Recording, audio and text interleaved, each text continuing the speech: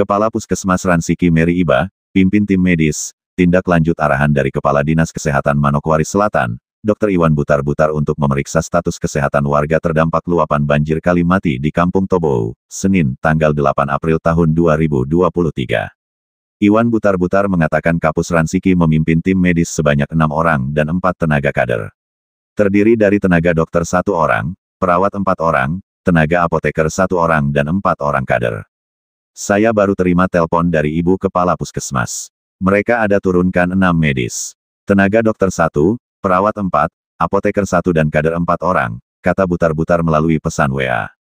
Dirinya berharap, dengan tindakan medis dapat mendeteksi dan mengurus kesehatan warga Tobo setelah kejadian banjir belakangan ini.